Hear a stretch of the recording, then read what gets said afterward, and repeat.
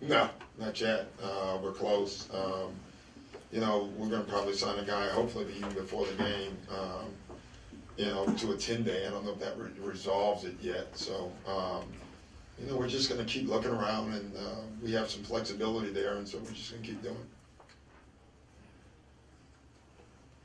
There was a report out there today that you guys were kind of kicking the tires a little bit on your third goalie too. What do what do you like about him and how can he help in to a point guard or is it an either or kind of a? No, no, it's not an either or. Uh, I just like him as a player, and I think he's out there. We should look at him, and I've always liked him. Um, you know, he can shoot, he can play three and four. Uh, so it's a position that we could use in some ways, and so um, you know, yeah, we're looking. How important is it these days, especially for only 14, 16 minutes a night, that a guy be a pure point? I mean, take a guy like Hedo, who handles as well as many points. Um, is, is it essential that he just be a pass-first point guard, or is the league changed a little bit? I think the league's changed. Um, you know, I don't know if there are a lot of pass. Uh, I talked to one today, Rondo.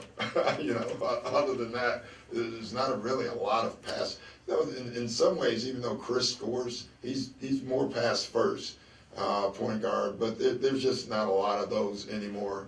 Um, I think because shooting has become so important uh, in our league, so I think that's changed a little bit uh, for sure.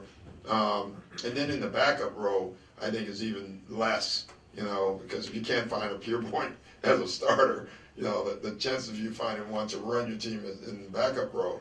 And that, that's one of the things where, you know, we're not necessarily looking for point guards, you know, right now. We're looking for guards, uh, you know, to, while Chris is out, we can go with three guards, you know, you, and whoever has it, has it, brings it up, and we can create a system in that way. So we don't want to marry ourselves to one position in this search.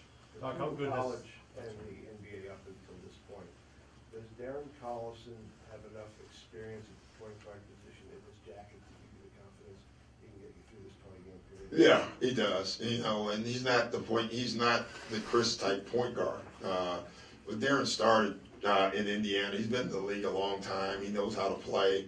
Um, you know, he plays differently. He's a more aggressive scorer. You know, um, and we just got to make sure he has the right balance between that and making sure that, uh, especially with the starters, that the, the key guys are involved offensively, uh, and that your team has a rhythm. And so I think that'll be important for him. Defensively, clearly uh, is it's it's something that he can do easy. How will this gap with Chris App alter your style of play? I don't know yet, honestly, uh, because I think with the starters, I don't think we have to change our style that much. You know, obviously we're going to do some things different because the bottom line is we're doing things that only Chris Paul could see, uh, and you know, very few guards can see the things that he can see, and so you're not going to get those. So you have to get it in a different way. I'm more concerned with how the second group will play. You know, um, let's say if we don't have a point guard but we have guards, we have to figure out a way to play that way. And so that's a bigger concern. Dr. Russell, JJ at this point, did he do any more shooting today, JJ Redick? Were you not at uh, shoot around this morning?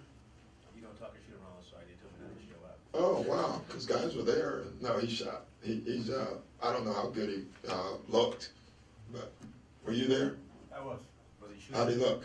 all right. Okay, see, there you go. You don't- get to see any practice, so I figured why show up for a shoot, I don't know practice, if you don't talk, so. He Yeah. on his wrist. Okay. He made some shots, missed some. So, so how do you look? Was he, uniform look good on him too as well, or? I didn't see. No uniforms for shoot around. It's practice jerseys. I thought he just, he said, he goes, oh, for sure. Yeah, no, he looked okay. He, he, we didn't. Um, he's not shooting threes. You know, yeah, not a lot of them. You know, you could see every shot he took. He made a point of taking it in the paint. So strength wise, clearly. Uh, but I think he can. He'll get there. Uh, and I don't know how soon. You know, the cat. The fact that he's shooting is a good sign. And Reggie shot and, and went through shoot around today as well. So that was good as well. He's getting closer as well. Yeah, yeah. I mean, they're very close, both of them. But that doesn't mean they play Wednesday or Friday, or um, when is it Monday? Wednesday. Next, uh, yeah. Oh wow, we got a good break. That's right. Um, so, but it means they're both close. So if you guys are, are looking to potentially even add another player, um, the roster, if you make your signing before it's fifteen today, the, the deadline is tomorrow for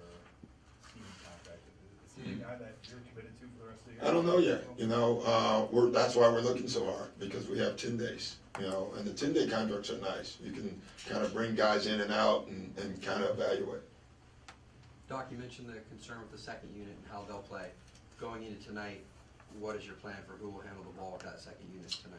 Basically, what we did, uh, in San Antonio, um, you know, what it does, it forces you to take Jamal out early and then bring him back in, and you try to put another ball handler on the floor with him, so at least there's two guys, uh, to, to handle the ball, and we're gonna do the same thing. You know, I really should be concerned with the first unit, the way we've started the last four games, uh, uh, defensively, we've been pretty bad, and we have to improve that. What do you see with this Magic Club, and and what will you ask of your guys tonight for this? Well, uh, listen, they compete every night, and, and you see that. You know, they're they've had a couple of wins and losses and up and down. They're in most games. Um, you know, I, I see a lot of young talent is what I see, and I see uh, they they really uh, for a young team they really execute uh, well, especially out of timeouts.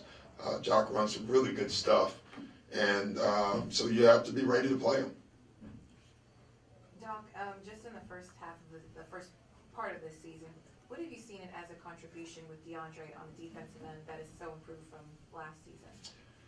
I don't know about last year, honestly. I just know this year he's been fantastic. Um, I don't know if there's there's been a better guy in the league uh, overall every night um, defensively than him. You know, and you know, it's it's funny uh, for him and all our players getting them to not worry about what their guy does and understand it's more the team scoring uh, that is more important. Uh, he's been the first guy to kind of do that uh, and buy into that. That's difficult, you know, if you're having your five run around the floor and his position may have 22 points, but the team only has 94 points, and he's he, he's the reason. Uh, but you know, that's why you know trusting the system defensively is so important, and he's done that. Uh, kind of an off-topic question. A lot of point guards and a lot of former point guards in this league are head coaches. How has helped? How's that helped you, a former point guard, be a head coach? You know, I, I, it's a good question. I don't know. Um, I think because we probably have the most contact with the coach while we're playing. You know, um, there's you have a lot of meetings with coaches when you're a point guard. Some you don't really want to have, uh, but you tend to. You know, I had Mike Fratello uh, for my first eight years, and I felt like we were meeting a lot. Um, and you know, and the same thing with Coach Riley and Larry Brown. If you've been around Larry, you have a lot of meetings with Larry, um, and a lot of those you didn't want as well. But I think that's it. I really do. I think um, it's an extension of you on the floor. Uh, I think the coaches that I played with was the hardest on the point guards. I got a feeling I am too, um, and because that that that that position is important. You got to call the plays uh, every time down. You got to defensively. You got to make sure everyone's in the right place. So uh, I think that's probably the reason. Uh, For the Tell point guards that you looked at, what was the one thing that you liked about this guy that you're about to sign? I mean, are you looking for something in particular for them to bring? Yeah, no, uh, yeah, I guess. I mean, I'm, it's, there's so many guys. Like, it's each guy has something different. One guy is a great shooter, you know, and so man, that's interesting.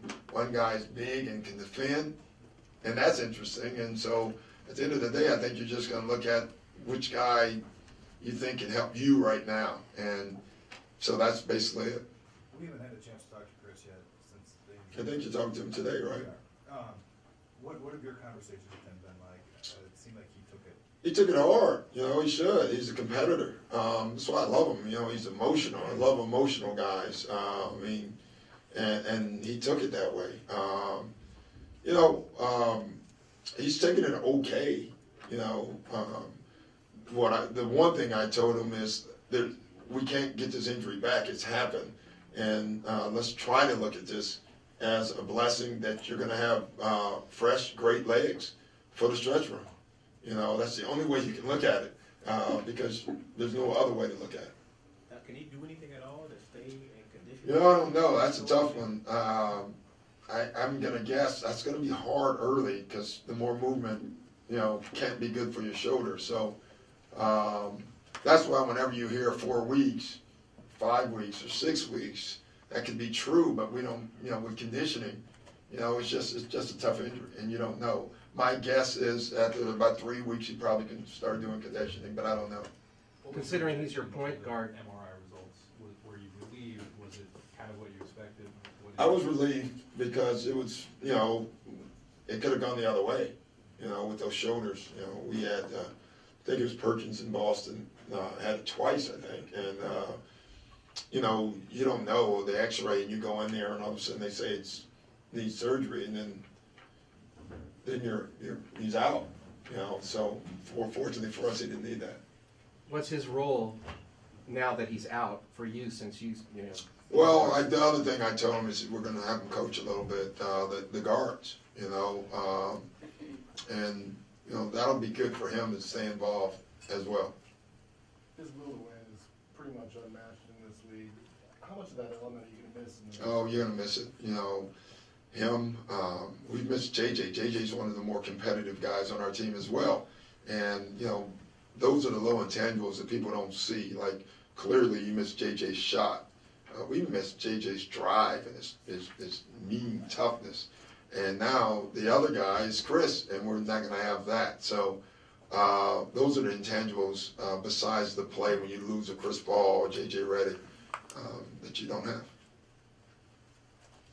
This has been way too long, guys. All right, I mean, I love you guys, but goodbye.